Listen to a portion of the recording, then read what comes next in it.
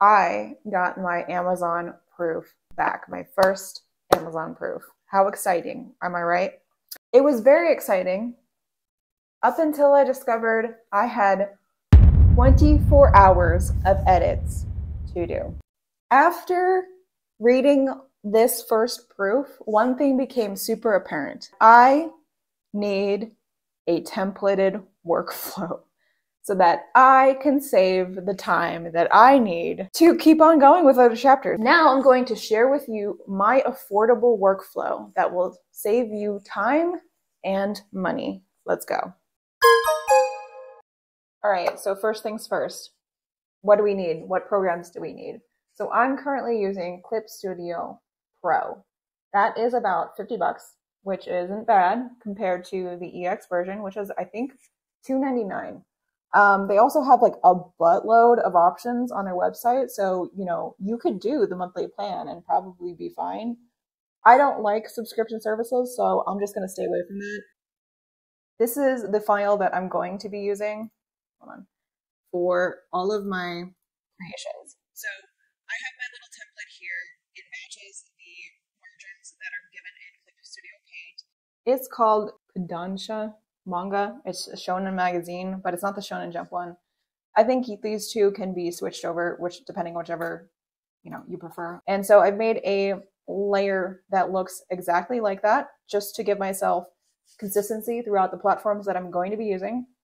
And I'm going to start from here. So the reason why I have a little bit of extra space and on the width of this is it's going to give me extra bleed room beyond the red lines for digital exports. So in Manga Plus creators, um, their resolution size that meets the standard of getting ranked and um, getting a higher rank in the system is it's a little bit wider than the, what this page gives you. So I want to give myself enough room that if I know that I'm going to have some kind of action scene that bleeds out, I need to make it bleed out a little bit further than what these parameters are showing me so that when I export it in the digital space and upload it to something like Manga Plus, it's the right resolution, it's the right amount of bleed. I'm not going to deal with any problems. So that's why I have this extra space here in this document. So this template file will be in the file that I include into the Gumroad. Okay, moving forward, once I have everything that I need, right, I'm going to move it over into Figma. So first off, I'm going to do a real quick um, example piece. Let's say I have my file. Now that the art is done, I'm going to drag you into my Figma. Here is my Figma file template, all right? So here are my pages, and they have the same layout as the CPS file. I go into here, select the placeholder image, and just replace it.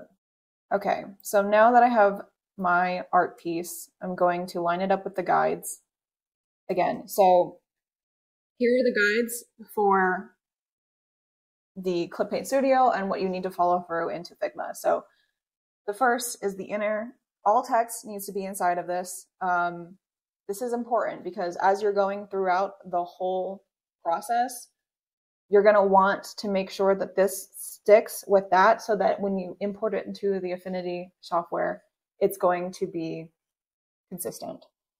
So the second one is totally allowed to have art bleed in it just as long as there's no text. And third is the printing trim and the cutoff.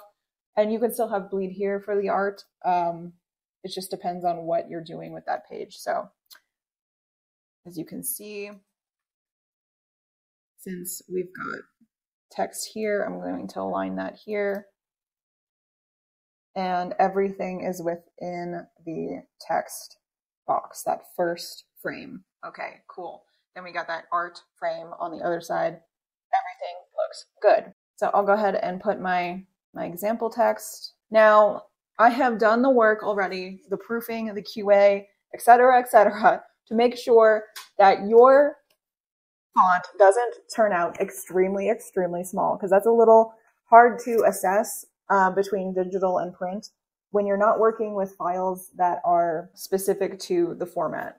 So this digital format, it needs to be 36 pixels, else you're going to have these really ridiculously small fonts. And that's something that took me a part, a good part of this 24 hours of editing that I had to do. I had a bunch of um, sentences that were in 24 size font, and it was just a huge no no for the print.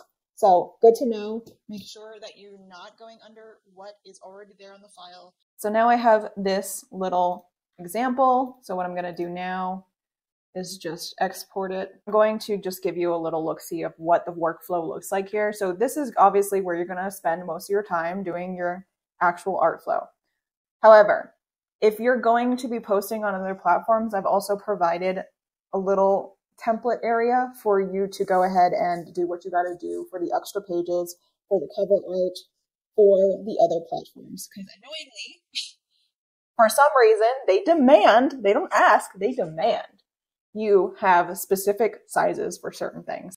Here's an example. Webtoon, I don't know why, but it has, it asks for the weirdest resolution for your cover page, which I guess is 1080 by 1920. Tapas has a small one that is 960 by 1440, and they won't take like any other sizes for some reason. Um, so that's what you got to work with here. I also have little uh, templates for your advertisement drops, some inner pages for buffer pages. Um, I think it helps to advertise what is going on in your current milestone while you're posting these things. I think it's a benefit, especially to link back to your link tree so that people are coming back to you rather than just the platform. We have a cover builder as well. So you don't have to use this, but uh, this is the style that I'm going with for Eclipse is this little bar across the way with the name and all that. This is my actual print cover. So what I worked up with this. Some other things in this Figma file are the export ready um, tab. So what I like to do here is because there's like a lot of things going on, such as your little template area and your whiteboard, you don't really want to use this tab to export like all pages or just export to PDF, whatever you're doing. You just want to drag whatever pages you need for that chapter and put it into export ready. Um, it makes the whole process a little bit faster. Again, I'm like obsessed with workflow, so I want to make sure that I'm streaming through things rather than stumbling and not understanding things because my brain bandwidth is too busy, right? So I put it into the exports tab. Okay, once you have that export, you have the size that you need for Manga Plus creators platform. Everything is standard to the 1920 by 2560. If you're if you're wanting to move into So, one other thing that I want to mention is if you're going to go ahead and do this, um, I made a little slice tool emulator to help somebody with this process. So now that we have our Figma pages, we're ready to get into the actual laying out of the file for export. I've got my page. I did my little sample page. So I'm going to go into Affinity Designer. Affinity Designer is, I think, around $70. And again, over Clip Paint Studio EX, you're still saving a good amount of money because this is a one-time purchase. And uh, of course, Clip Studio does still offer one-time purchases, but it's significantly more money if you're going to buy the EX account. And I don't know if it's a, a good purchase or not because I have not tried it, but I prefer platforms that are designed for this kind of use, especially since I'll be using it to create different kinds of materials other than just the manga. So if I wanted to create a lookbook or something like that that has a different kind of format, I find it easier for me to have something that is like InDesign rather than just using one single program that doesn't seem to be graphic design friendly. I'm going to open up my template that I provided you. So as you can see, it still matches one to one with the Clip Paint Studio sizing and the margins and the Figma sizing and the margins. I did not have this when I first started out. I certainly didn't do it when I was working in chapter one as a complete noob. And so now that I have this, I have a standardized way of doing things and it will save me so much time and so much pain in this process. So let's get going. I'm going to import my little example page. Right. Okay. So what I did was I dragged it up against these bleed lines, which is the red area right here. And as you can see, the text still sits inside of the text box. The art uh, expands up into the art line, but then we still have our bleed. So as an example,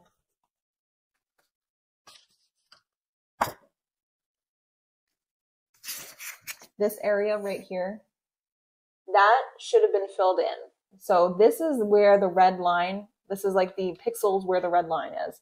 So you need to drag your art up into the red lines. Make sure that it always fits there and you'll be able to see it in the KDP previewer. If you do see a trim of white, you're doing it wrong. I figured, oh, maybe because I had a custom size that, oh, maybe the previewer isn't working correctly. No, it was. It was I was wrong. However, yes, there was a little margin of error, I guess, in the previewer because there was things that like there was a white line in this area as well, but they did trim it. So just know that you don't want any white lines just in case anywhere. Okay.